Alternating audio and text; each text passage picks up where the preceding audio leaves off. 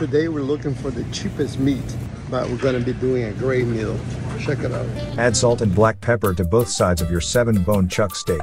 On high heat, add some olive oil and the cheap steak to a pan. Get that good color and flip. Cook the other side. Meanwhile, slice half an onion. Chop half of a jalapeno. Remove the meat and set it aside. Add the onion to the same pan. Add some garlic. Let's deglaze the pan with white wine. Add some salt to it. Add some cilantro to it. And yes, I'm showing off my Try My Chow Tiger knife. Beautiful, isn't it? Mix and add the steak back in. Now cover it with beef stock. High heat brings it up to a boil. Add some lime. Put it on medium heat and cover for one hour. You're done. It goes really well with our spicy mashed potatoes. Look for the recipe. It's one of the best. If you didn't get our Try My Chow Tiger knife yet, hurry. What are you waiting for? We cut the price in half, so get it while it's on sale.